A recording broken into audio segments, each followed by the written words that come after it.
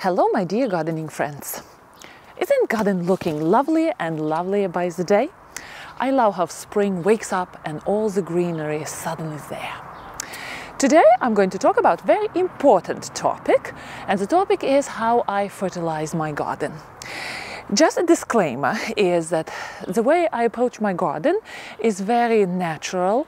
I come from a tradition where my family in Ukraine had a land and had a seed and that's how process went. Seeds went into the land and the soil produced fruits and vegetables. So I try to do the same in my garden so fertilization is fairly easy here in my garden because I invest so much in healthy soil. I basically let soil do all the job. So follow along and I will show you what I do in spring to make sure that my garden will be thriving through the year.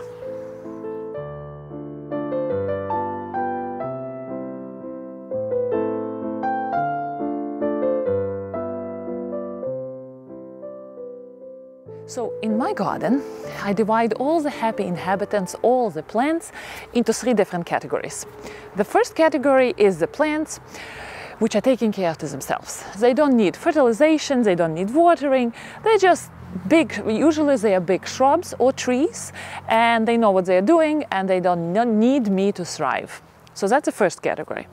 The second category is uh, plants, usually they're middle size uh, shrubs and annuals perennials, which are tough, but still I need to pay attention to watering and I do need to fertilize them. And the last category is my super performers, my roses, my uh, butterfly bush, other plants which are, I'm showcasing in front of the garden, my hydrangeas, which are heavy performers in the garden. They demand space and attention and they need a lot of uh, fertilization, a lot of water to keep them going, especially roses. Roses are such um, highly developed plants in the garden. They need a lot of attention to perform well. You're not going to kill a rose if you're not going to fertilize it well and not water well, but rose is not going to be producing so many wonderful blooms. And of course, we are expecting those wonderful blooms in our gardens. So I'm going to show you what I'm doing. And uh, excuse the cornholes, my kids were playing here. So here we have, this is my first bush which I fertilized this year. This is butterfly bush. Uh, it's a heavy performer in my garden. So what I did to this bush, I fertilized it with a Espoma general fertilizer. And I probably gave it two cups around as, a, as I say, around the drip line. So butterfly bush is sharing this space with tulips and I didn't want to spread fertilizer on tulips. So I made it kind of a little bit closer. And then I went ahead and I uh, digged a lot of I harvested a lot of um, uh, compost. And by the way, I counted all my bags. I have 13 bags of compost and I almost used all the bags from previous year.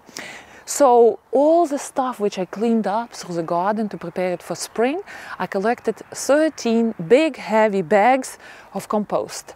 So in case you're not composting in your garden, I encourage you to do that because it's such a good stuff. You're missing so much if you're disposing of all that goodness and then you have to buy fertilizer. So if you can, I encourage you, here's a video how I do it.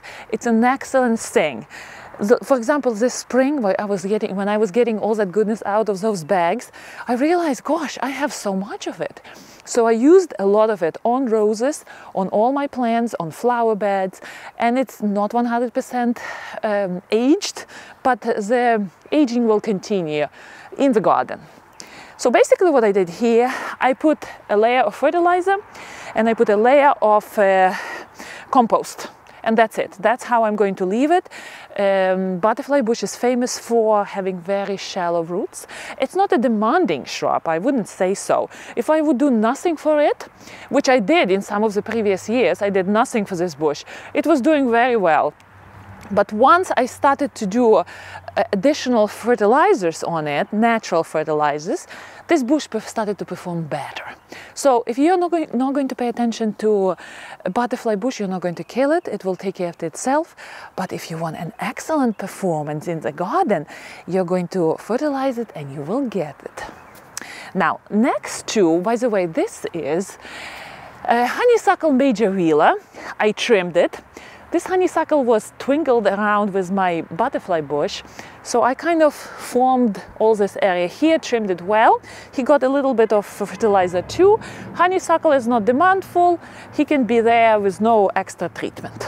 But on this side, I do have my beautiful rose, uh, which is sharing the space, maybe a little bit too close. Uh, with these shrubs, three, three, shrubs here. So I had to be very careful how I fertilized it. Uh, the treatment for this rose, since roses are heavy feeders, right? I used the Espoma uh, rose fertilizer, which is a natural fertilizer, and I like to use natural fertilizers. And I covered it with uh, well-aged cow manure.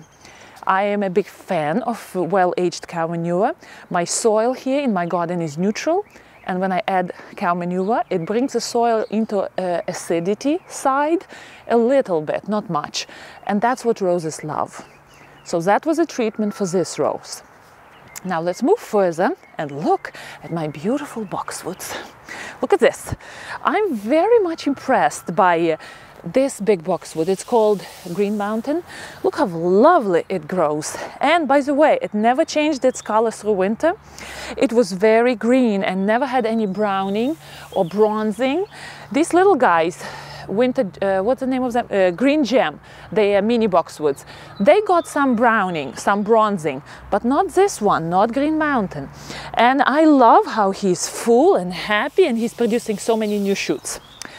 But when you compare these two sides of those boxwoods, this side, this mini boxwoods are not doing very well and I really don't know why. So my suspicion is that either I didn't water these guys well or what, I have no idea. I think one of the viewers, I think Marilyn, said to me that maybe I didn't cover uh, the root uh, the roots with soil or maybe they went through the winter without protection. So what I did I fertilize them very lightly and I use uh, a mix of garden soil and uh, cow manure. I know that boxwoods don't want to be bothered with fertilization, they want to have their quiet time.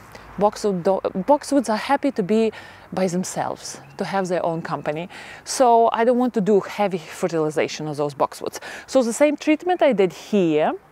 Now my vegetable bed, Last year I really prepared it very well and uh, I'm sure there are a lot of good happy wormies. I'm going to put a netting around it and what I did, I did a little coat of uh, garden compost again. So all this area would be ready to be planted soon. So basically my approach to fertilization in the garden is very specific and depends on the plant. Um, I can do it because my garden is not very big, but obviously people who have bigger gardens have to do more of a wholesale approach, I would say it. But here in my garden I can say, okay, this beautiful arborvitae, look at it it's a beautiful little fellow. He's very happy here. You see this nice tall spike at the top? It means Arborvitae is happy and it's growing. Now, this Arborvitae has still that brown top, uh, brown edges from winter. But this guy received all of, um, all-purpose fertilizer and I also covered the root system with mulch because I want this arborvitae to thrive here and it gets a lot of sun, which he should. This arborvitae loves sun, loves basking on the sun.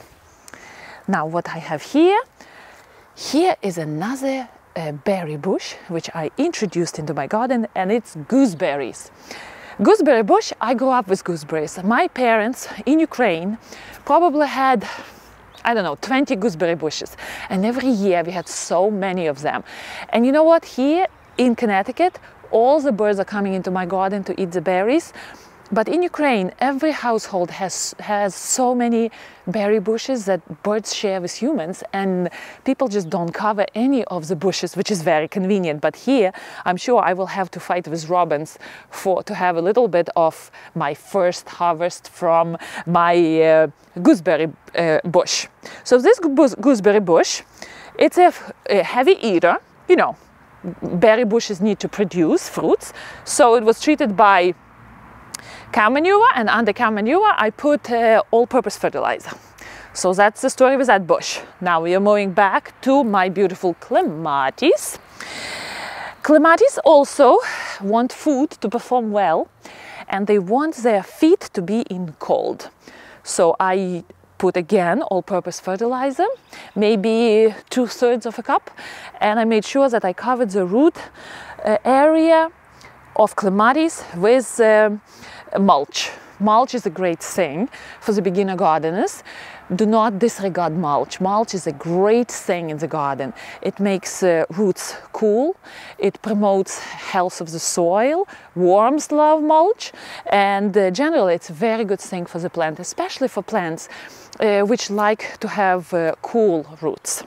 Here I am near my display rose, my star of my garden, Lady of Shalott and I didn't fertilize it yet.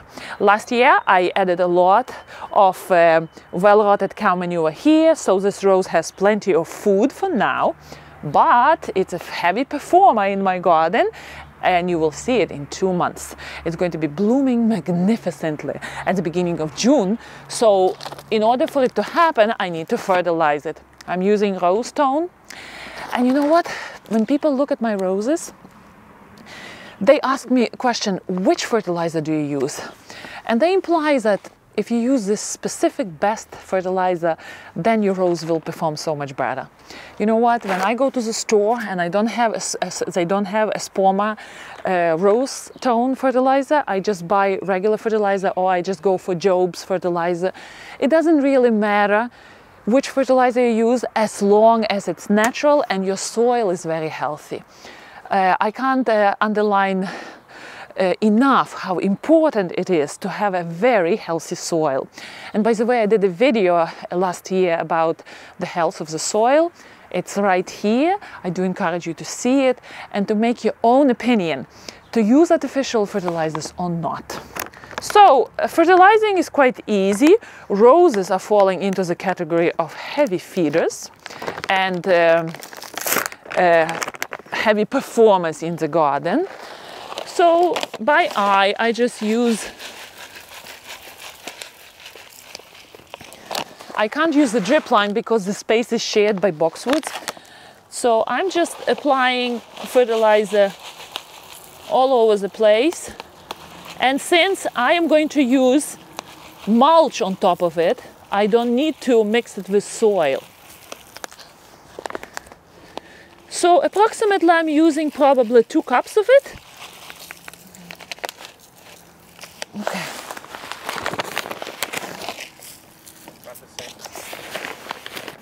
My husband said, how about the center? Well, it's kind of too close to the roots, so a little bit. All right, that's it. And now I'm going to apply mulch I'm going to apply mulch heavily.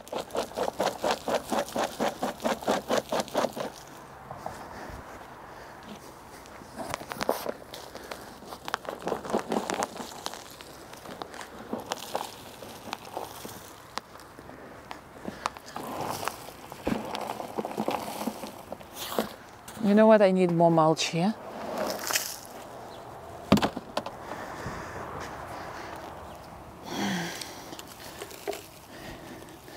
I need more mulch.